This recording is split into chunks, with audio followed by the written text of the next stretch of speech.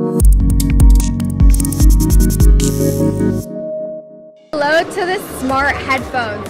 Yes, that is my name. Put these on.